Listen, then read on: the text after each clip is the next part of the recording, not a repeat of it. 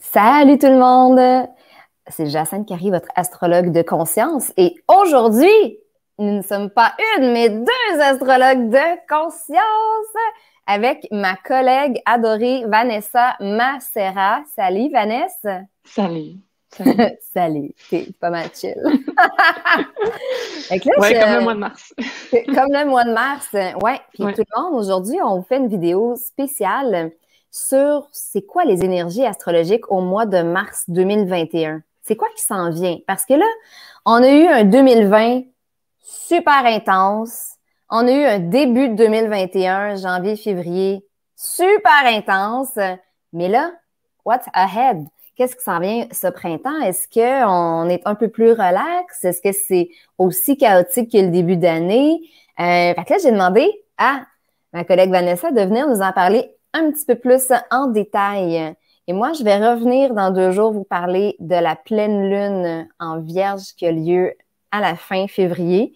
Mais tout de suite, c'est le fun de savoir ce qui s'en vient, tu sais, pour se préparer à, OK, on, on, va surfer sur quel type d'énergie, comment est-ce qu'on peut l'appliquer dans notre vie concrètement, mis à part euh, que de, dire Mercure n'est plus rétrograde et euh, des... Bref, on est là pour vulgariser les énergies de l'astrologie avec vous parce que l'astrologie, ben, ça apporte vraiment des changements astrales, oui, dans le ciel, mais ça nous affecte directement au niveau énergétique, vibratoire. Ça peut être différent pour tout le monde, mais il y a quand même, il y a quand même une énergie que tout le monde est capable de ressentir dans la collectivité. Fait que, hey, on a déjà euh, des amis qui arrivent, oh yes, qui veulent savoir euh, à quoi ressemble le mois de mars. Vanessa, tu as, une audience, c'est cool. Salut Axel. Oh Marie, t'es-tu à côté? Marie-Ève, c'est ma voisine, elle est comme l'autre bord de mon appart. T'es où? Salut Sébastien. Hey, long time aussi. Oui, lune en vierge. Toi, toi tu l'as vu passer que la lune, elle sera en vierge parce que lui, il est vierge. Fait que, mm. salut Chantal. Yeah, on a plein de gens avec nous. Fait on, ça durera pas une heure aujourd'hui. On voulait vraiment faire ça, euh, une petite vite. Euh, mais une petite vite qui peut durer, on ne sait pas encore. On a décidé de ne pas se mettre de timing. ça ne durera pas deux heures, mais ça se peut que ça dure plus que 15 minutes. Donc, euh, hey, Vanessa, yes. En passant, si vous ne connaissez pas Vanessa, c'est, c'est, mon astrologue à moi.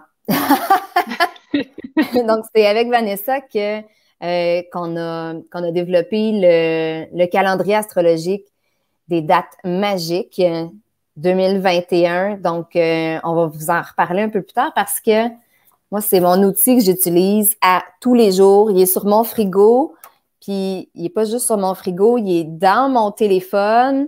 Fait que, on, s'est créé un outil pour pouvoir nous faciliter la vie quand, quand on n'est pas astrologue et, et, quand, et, quand, et même quand on est astrologue, mais super fatigué, avec les yeux croûtés en se réveillant le matin. Qu'est-ce qui se passe aujourd'hui? C'est-tu une date particulière pour faire une action payante, intéressante dans l'énergie astrologique ou on est mieux de rester couché puis d'attendre à demain? mais on commence avec le mois de mars. Vanessa, Vanessa, toi, tu as étudié le mois de mars. Qu'est-ce qui s'en vient en mars? Ben, le mois de mars, euh, tu as mentionné euh, rapidement tantôt, euh, Mercure n'est plus rétrograde. il est plus rétrograde, puis il s'en vient, il va sortir comme Vénus, les deux vont sortir du Verseau. ce que ça fait qu'on on vient de passer une période assez intense en février, comme tu l'as dit aussi, avec beaucoup, beaucoup, beaucoup d'énergie Verseau. On garde quand même une grosse partie de l'énergie Verseau parce qu'on a Saturne et Jupiter encore qui sont en Verseau pendant un bon bout de temps, en tout cas pas mal toute l'année. Euh, mais c'est ça. On a Vénus qui s'en vient. Euh, Vénus, c'est la première qui s'en vient. Ah, mais attends, attends. Attends, avant, avant je t'arrête. Avant d'aller dans le détail, euh, peux-tu juste nous faire un résumé de on part d'où comme énergie de début de l'année 2021 et on s'en va vers quoi globalement? Oui, OK. Ouais, ben en mars, ça va être pas mal plus tranquille que le mois de février. euh, c'est, on a comme une espèce de pause parce qu'on n'a plus de rétrograde pour un bout de temps, pour comme mars-avril. Euh, ce qui fait qu'on est moins dans, dans, euh, dans des fois les ralentis, des fois devoir recommencer certaines choses, devoir prendre son temps, puis comme un petit peu prendre son mal en patience. Là, on peut un petit peu plus aller vers l'avant, mais l'énergie est quand même plus tranquille. donc, ça va être, ça va être un petit peu, on est plus dans le flow, disons. Avec, là, on vient de commencer la saison poisson aussi. Le poisson, c'est un signe qui est très, très relax. Attends, attends, euh, tu vas vite, tu vas vite. OK.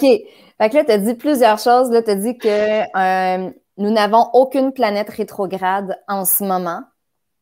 Oui. Fait que ça, ça c'est une bonne nouvelle ou c'est une mauvaise nouvelle pour toi?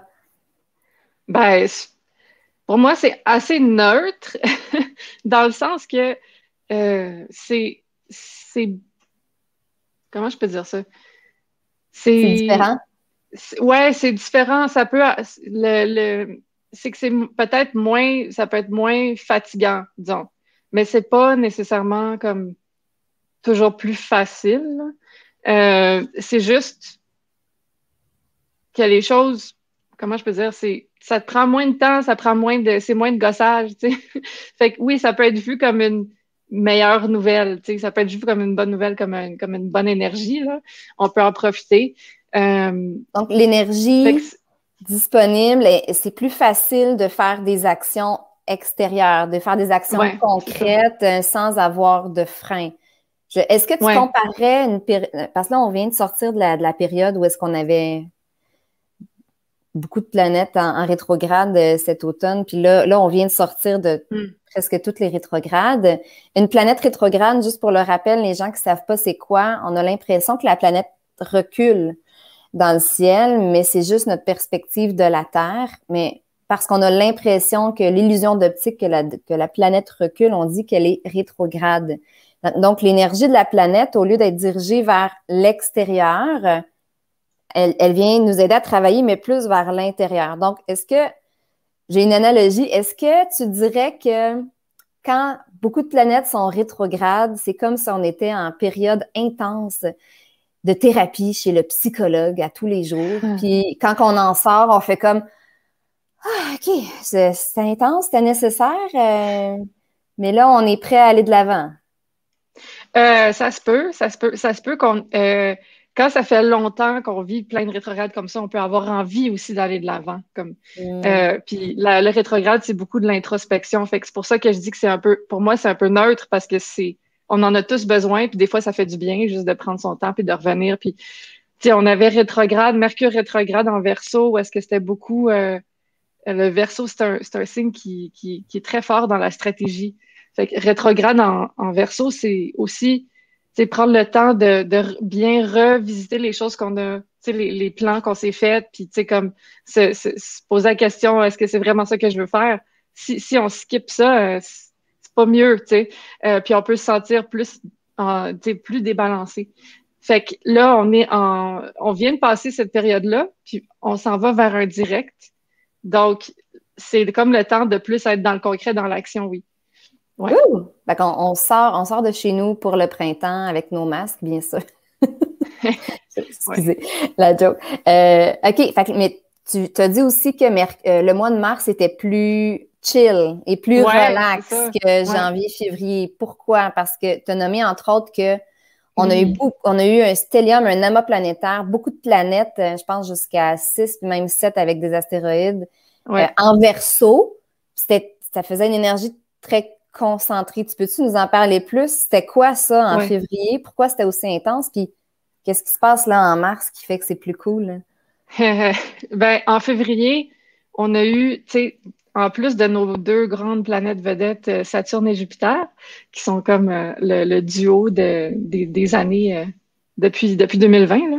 ben, puis encore avant, mais c'est ça, les deux sont rentrés en verso à la fin 2020. Puis là, après ça, on a eu euh, Soleil, on a eu Mercure, Vénus, qui sont rentrés en verso, puis c'était un gros paquet de planètes. Puis euh, il y a Pluton quand même pas loin en arrière, qui est à la fin du Capricorne. Fait que, tu il est pas en verso, mais pas loin. fait que euh, ça fait beaucoup d'énergie concentrée. Le verso, c'est un signe qui est, qui est, comme je disais, plutôt beaucoup dans la stratégie, puis beaucoup dans les technologies. c'est c'est un signe d'air, c'est un signe très, très cérébral. fait que c'est ça démontre assez bien qu'on est beaucoup dans, euh, on travaille à distance, on est en ligne, on, on, repense un petit peu comment on, fonctionne dans la vie en général. Euh, on brise certaines limites, on change nos systèmes. C'est comme la période euh, qu'on est en train de traverser. Là, on a quand même encore Saturne et Jupiter, fait qu'on n'a pas fini ce travail-là, sauf que euh, c'est ça c'était vraiment intense en plus avec le rétrograde de Mercure où est-ce qu'on était tout en train de, de revisiter, de, de, de, réévaluer vers où on s'en va, refaire nos stratégies pour le Moi, j'étais tellement là-dedans là, cet hiver, en février, là, comment structurer, comment, euh, euh, comment changer les anciennes méthodes de travail qui, sont, qui étaient correctes, mais que là, c'est plus optimal, puis mm. comment je peux alléger ça, puis... Ouais. J'ai hâte de, finir ça pour justement aller de l'avant. fait que là, tu me dis qu'ils sont. L'amas planétaire en verso est en train de se défaire pour le mois de mars. Oui. Oui, c'est ça. Là, on a Mercure est redevenu direct. Euh, il, il, va revenir.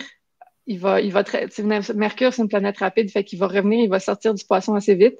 Euh, puis Vénus aussi est avancée, euh, quand même beaucoup avancée, n'est pas rétrograde, fait que ça va pas y prendre de temps euh, d'arriver en poisson. Je pense qu'elle arrive en poisson dans deux jours, même le 25 février, ouais. Oh donc, c'est ça. donc, on arrive. Le soleil est aussi en poisson depuis la semaine dernière. Fait que c'est ça. Là, on commence une autre période. On est, on a encore quand même d'énergie version en background, sauf que puis ça, c'est le thème de l'année.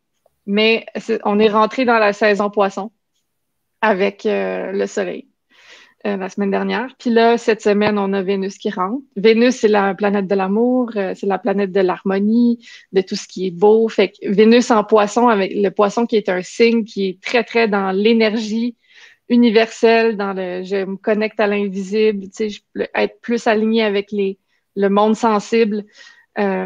Fait que Vénus, la planète de l'amour dans le monde sensible, on a une connexion qui est pas mal plus, euh, c'est comme des fois idéaliste. Euh, c'est moins dans, c'est moins dans les idées, c'est vraiment plus dans les, les énergies. On veut connecter, on veut comme vivre l'amour universel, disons.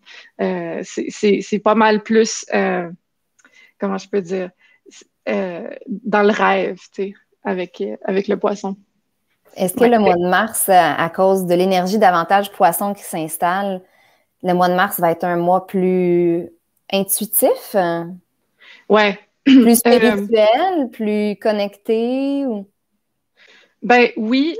c'est sûr qu'avec euh, avec, on a Neptune dans le poisson, le Soleil qui va être dans le poisson, avec Vénus dans le poisson, il y a beaucoup, beaucoup de connexions spirituelles, intuitives, oui. mais il y a aussi comme c'est une énergie qui est moins, un petit peu moins grounded, puis un petit peu moins, euh, comme c'est un signe d'eau, il est plus dans la perception. Fait que c'est aussi un signe plus introverti, dans un sens, là. Donc, euh, c'est aussi un petit peu plus lent.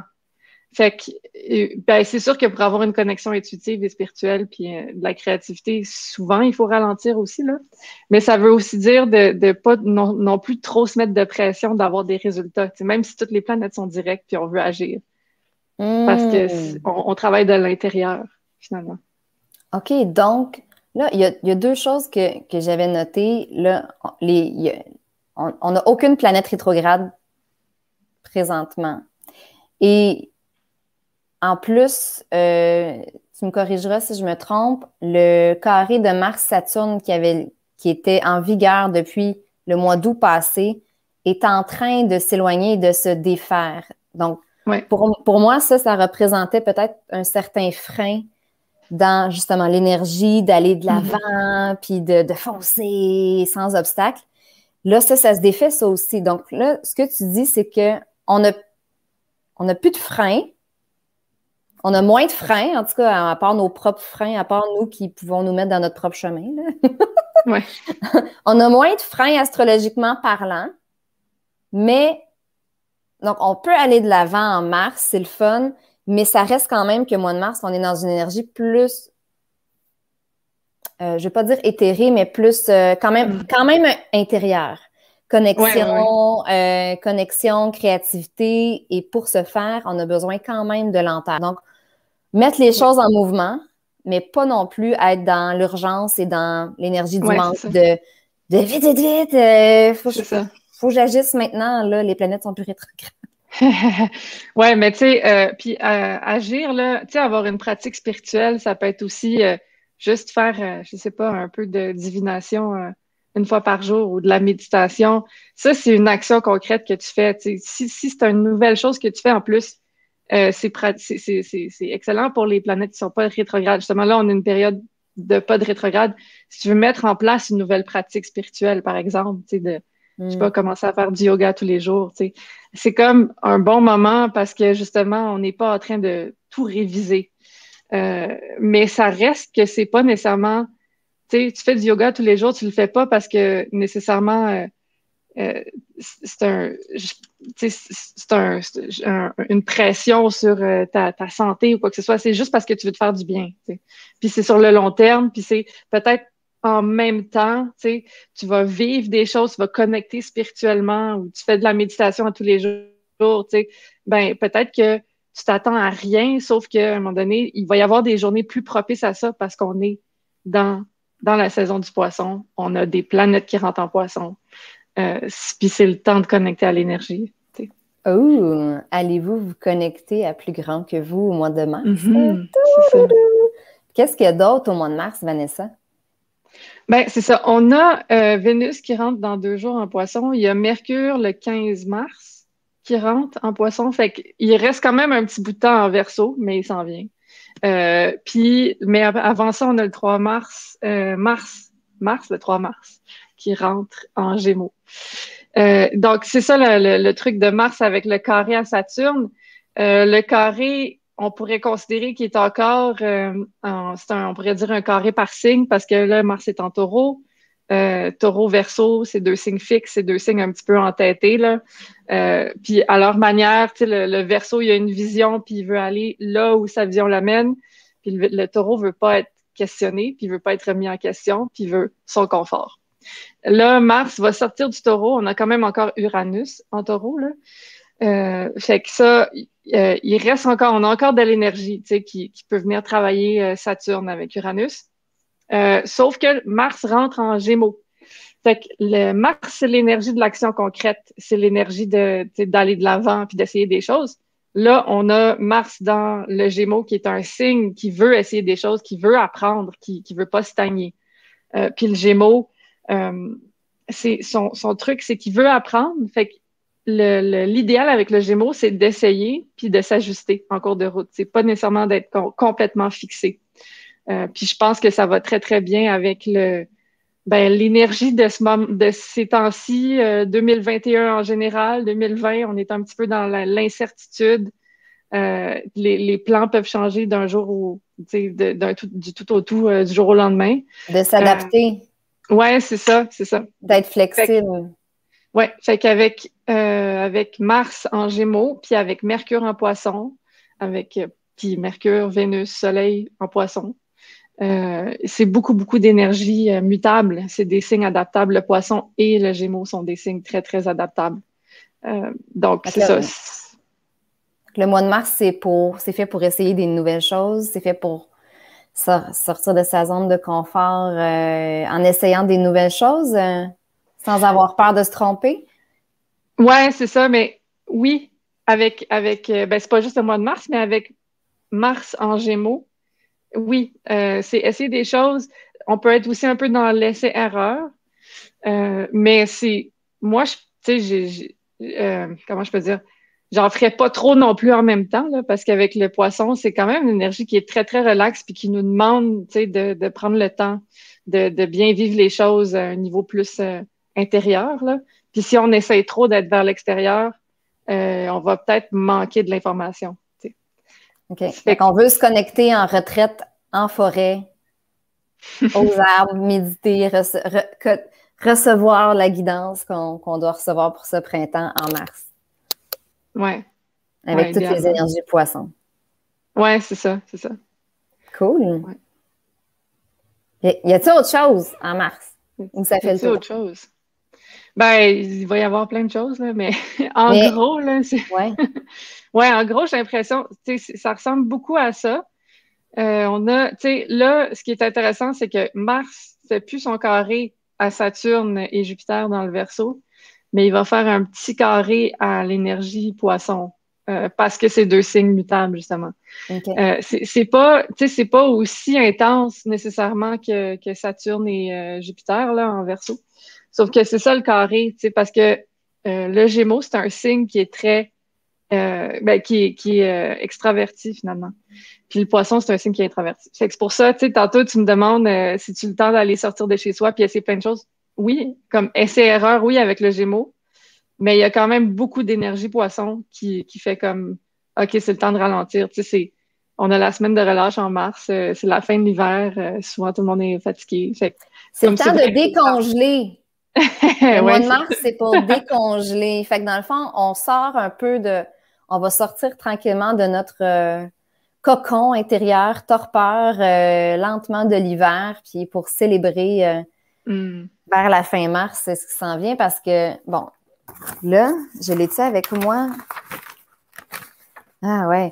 Le mois d'avril, euh, on, va, vous en reparler dans un mois, mais mars, c'est vraiment, que je comprends, c'est que c'est vraiment un mois plus, euh, plus relax, plus chill, comme tu mm. dis, mais il y a d'autres mois là, qui, ont, qui ont vraiment des d'autres types d'énergie euh, beaucoup plus actives que le mois de mars. Fait que le mois de mars, prenez-le comme un, comme un cadeau, comme comme une pause de ouf, OK, c'est un peu moins le chaos. Euh, on, hmm. on, peut, est-ce qu'on peut dire qu'on peut reprendre notre souffle en mars? Oui, ben, idéalement, c'est ça qu'on ferait, oui. Bon, parfait. Ouais. Puis donc, là, je vais juste vous montrer le calendrier astrologique des dates magiques 2021 nous donne, là, ça c'est février, moi, je l'ai imprimé, mais vous pouvez l'avoir, c'est en version numérique, vous l'avez aussi sur votre téléphone. Donc là, en février, je ne sais pas si vous voyez, il y a beaucoup d'actions. Il y a des mm. lunes en pause, il y, a des, il y a différentes dates magiques. Puis si on regarde rapidement, c'est beaucoup plus tranquille au mois de mars. On a vraiment moins de lunes en pause, ce qui est vraiment le fun parce que pour ceux qui ne savent pas c'est quoi la lune en pause, le vrai terme astrologique, c'est lune void of course, hors parcours, vide de passage. Quand la lune est en pause, qu'on appelle, c'est qu'elle ne communique plus les énergies des autres planètes sur la Terre. Elle n'agit plus en tant que médiatrice. Donc, c'est comme si on pouvait juste compter sur notre propre énergie à nous, sans avoir le coup de pouce supplémentaire des astres. Ça arrive plusieurs fois par mois, et dans ce cas-ci, là, j'ai imprimé le calendrier du Québec. Je ne sais pas si tu as le calendrier d'Europe avec toi proche, là. Mais en tout cas, au Québec, parce qu'on a fait une version Canada, heure de l'Est, Québec et, euh, et Europe, heure centrale, euh, Paris. Et donc, au Québec, en mars, je trouve qu'il y a moins de dates de lune en pause et on conseille, quand, quand la lune est en pause, de ne pas, idéalement, c'est pas un absolu, mais de ne pas faire d'action euh, importante. Signer un contrat, vous marier, euh, avoir une entrevue de travail ou euh, pas, faire de lancement non plus. C'est davantage des moments intérieurs où est-ce que vous pouvez être dans vos activités de routine, faire du ménage, méditer, passer du temps avec vos proches, peu importe. Et donc, euh, en mars, on en a moins. C'est représenté par les, petits ronds noirs, ici, là, avec les petits X. Donc, on sait exactement, quand on a le calendrier, ben, quand est-ce, quand est-ce que je peux faire des actions importantes, que ce soit dans ma vie personnelle ou au travail, et quand est-ce prendre un break sans me sentir coupable? Et on peut dire, chérie, aujourd'hui, je prends un congé, la lune est en pause. Je peux pas rien faire. voilà. Donc, ça vous permet de, le calendrier vous permet de manœuvrer, OK, puis il y a aussi certaines dates avec des rondes couleurs, euh, qui, des dates magiques par rapport à l'entreprise en ligne, l'inspiration et la créativité, les lancements, l'amour, la vitalité, la carrière, la santé, la guérison. Fait que vous savez, quand il y a des dates où est-ce que les astres vous supportent un petit peu plus que d'habitude pour faire des actions précises dans un domaine précis pour avoir encore plus de résultats dans votre vie. Si vous n'avez pas encore le calendrier astrologique des dates magiques 2021, qui est pas mal unique comme concept en francophonie, parce que Vanessa et moi, on a développé euh, une méthode euh, d'astrologie consciente et élective pour vraiment faciliter la lecture de l'astrologie sans avoir à se casser la tête avec des éphémérides ou euh, des symboles astrologiques compliqués. Fait que moi, il est sur mon frigo. Je me lève le matin. Bon, qu'est-ce qui se passe aujourd'hui? Donc, euh, c'est vraiment facile à utiliser, même si vous connaissez rien à l'astrologie, même si vous n'avez rien compris de ce qu'on a dit aujourd'hui sur le mois de mars. donc, euh, c'est ça. Si, euh, donc, si vous ne l'avez pas, ben, c'est le bon moment de vous le procurer pour toute l'année. Donc, en euros ou en canadien dans le lien. Et, mais il y a des gens qui ont besoin, des fois, de guidance un peu plus personnalisée. Là, on donne de la consultation en astrologie de conscience personnalisée, privée, en un à un. Moi, en ce moment, j'ai plus de dispo dans mon agenda, mais Vanessa a de la disponibilité dans les prochaines semaines. Si vous avez, si vous ressentez le besoin d'avoir il y, a il y, a deux services principaux, le service de carte du ciel de l'année. Donc, vous vous demandez où est-ce que je dois mettre mon focus et mon énergie cette année ça fonctionne de la date de fête à votre date de fête l'année d'après. C'est pas l'année 2021. Euh, donc, euh, donc, si vous êtes né, exemple, euh, le 2 mars, ben, prenez rendez-vous maintenant parce que vous allez avoir les, lignes directrices de ce que, de où est-ce que vous devez mettre votre focus, votre, votre énergie pour l'année à venir jusqu'au 2 mars de l'année d'après. Même chose si vous êtes né en février, prenez votre rendez-vous tout de suite parce que votre année pour votre carte de naissance de, pas de naissance de l'année qu'on appelle aussi révolution solaire, c'est déjà commencé. Si vous êtes né au mois d'avril, ben prenez aussi rendez-vous parce que l'énergie de la révolution solaire se met en place un à trois mois avant la date de fête. Donc, ça vous donne vraiment les, les lignes directrices euh, super intéressantes pour savoir, OK, je focus sur quoi là, cette année? Euh, parce que des fois, on est éparpillé. Bref. Et si vous savez déjà où vous en allez cette année, mais que vous êtes plus dans c'est quoi ma mission de vie, puis davantage dans une recherche identitaire plus profonde, prenez un rendez-vous de carte du ciel de naissance. Donc euh, là, vous allez aller plus en profondeur. C'est un rendez-vous de d'une heure, euh, de presque deux heures. La révolution solaire juste avant, c'est davantage une heure et moins. Donc, si vous avez besoin, prenez rendez-vous avec Vanessa. Elle est merveilleuse. Fait que, hey, on a-tu des commentaires? Euh, T'as-tu quelque chose à rajouter là-dessus, Vanessa? Euh, sur les consultations? Oui, ou peu importe. Anne-Josie nous dit Oh là là, ce ne sera pas pour tout de suite. Je ne savais pas que j'étais vue jusqu'en France. Wow, on essaiera ça bientôt à distance. Ah, OK. jusqu'en France, oui. Ouais. Et euh, c'est parfait, Mars, avec ses lunes en pause. Moi aussi, je vais me mettre en pause. Mais il y, a, moins de lunes en pause en mars qu'en février.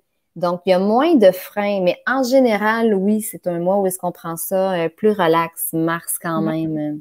Fait que, et s'il y a des questions, gênez-vous pas tout le monde. Hmm. OK, ici, on a une question intéressante. Euh, la break Metallica. Bon, est-ce qu'il faut faire partie du cercle pour avoir le calendrier? Non! Non, le calendrier il est inclus dans les membres, pour les membres du cercle Magic Moon, quand vous prenez l'abonnement annuel. Mais vous pouvez vous procurer le calendrier seul. Vous n'êtes pas obligé d'être membre du cercle Magic Moon. Vous pouvez juste l'acheter directement sur le site à la pièce. Il n'y a aucun problème. Fait que, ouais. Hey! J'essaie de voir s'il y a d'autres questions. Mm-hmm. Christiane, ça m'intéresse ce calendrier. Cool! Excellent. Ben, j'ai mis le lien euh, directement dans, si vous êtes sur YouTube ou sur Facebook, en dessous ou au-dessus, vous avez autant le lien pour vous procurer le calendrier astrologique des dates magiques 2021 que le lien pour prendre rendez-vous en consultation en astrologie de conscience. Fait que, c'est ça. Hey, merci tout le monde d'avoir été là. Euh, Vanessa, toi, euh, tu vas prendre ça comment le mois de mars? Ouh, je vais probablement prendre ça relax. Euh, je suis en train de finir plein de choses en ce moment avec le mois de février. C'est l'énergie février. Puis ça va retomber justement en, mars. Je vais pouvoir plus prendre du temps pour moi. Ça va faire du bien. Hmm. Je vois le mois de mars comme une période de d'atterrissage, mais pour reprendre la vitesse après. Oui, oui, c'est vraiment, c'est comme un checkpoint. C'est, le temps de, justement, de revenir en soi, de prendre son temps pour soi, puis de se donner du temps pour juste comme voir, OK, où est-ce que j'en suis, là? Puis, euh, puis après, on va repartir. Ça va être le printemps euh, assez rapidement, puis les énergies vont, vont redémarrer assez vite, ouais. Fait que nous, on reprend ça, là, euh, avant le mois d'avril, On, on va faire on va vous refaire une vidéo, tout le monde, euh, pour vous annoncer c'est quoi les énergies du mois d'avril à la fin du mois de mars. Puis en attendant, ben, on se retrouve euh, pour la pleine lune en vierge qui va avoir lieu ce samedi dans la nuit. Donc, euh, je vais vous faire une vidéo là-dessus dans deux jours. Je vais vous l'annoncer très, très bientôt. merci, Vanessa, pour ton temps, pour nous expliquer en détail ce qui se passe en mars. Merci à toi, ça fait plaisir. Et pour les gens qui veulent savoir qui veut savoir euh, quel autre type de service que tu offres. Tu offres du tarot aussi? Oui, j'offre du tarot, oui, oui. Euh, mais en fait, en fait euh, oui, avec le tarot, ce qu'on peut faire, c'est que c'est quelque chose de différent dans le sens où, avec l'astrologie, on a un regard pas mal plus cosmique. On a le regard des astres, des énergies en ce moment qui nous entourent, qui sont disponibles. Avec le tarot, on peut aller vraiment plus dans des situations spécifiques. Hmm. Par exemple, je, veux, euh, je, veux changer d'emploi. J'ai deux offres d'emploi euh, de deux employeurs différents, mais c'est dans le même domaine. Ben, avec l'astrologie, l'astrologie te confirmerait que le domaine est le bon, tu sais, mettons, ou que peut-être que tu as, d'autres possibilités de domaine, mais avec le tarot, ce que tu peux faire, c'est comparer les situations selon l'employeur, comparer OK, euh, demain, j'ai une entrevue, comment ça va se passer? L'astrologie peut pas vraiment dire ce niveau de détail-là. Euh, c'est plus complexe d'aller voir quand, quand, ça implique d'autres personnes dans une carte du ciel. Fait qu'avec le tarot, on peut voir des, des situations pas mal plus euh, comme un zoom-in, disons. Fait qu'en astrologie, on, on, va en profondeur, mais davantage dans, dans une optique globale, tandis qu'en tarot, on peut aller vraiment précisément sur avoir une réponse super précise sur une situation très précise. Oui, c'est ça. Mais là, c'est ça, c'est que dans le fond, l'astrologie nous aide à nous. Tu sais, c'est un petit peu comme quand on disait que ben, quand on quand on guidait les, les, les quand les navires se guidaient se guidaient par les étoiles dans le ciel, tu sais. Euh, ça, c'est le travail de l'astrologie. Où est-ce que tu t'en vas en général? Mais ton, mm. mais ton astrologie, les étoiles te diront pas quelle vague s'en vient en pleine face demain matin. Euh, le tarot peut plus te le dire, ce genre d'affaires-là. fait que là, il va falloir que tu t'offres un service qui mixe les deux ensemble. Oui, c'est ça. J'ai commencé à y penser aussi. Euh, OK, on, s'en reparle. Fait que ton site web, si les gens veulent une consultation de tarot, c'est quoi? C'est witchcosmic.com. Vous pouvez aller, il y a un menu, puis j'ai des services j'ai service astrologique, service tarot. Fait que c'est très, très simple. Juste aller voir, chercher le tarot, chercher l'astrologie. ouais. C'est cool. Merci, Vanessa. Merci à toi. Yes. Hey, bonne journée tout le monde. On se reparle pour la pleine lune dans deux jours. Ciao.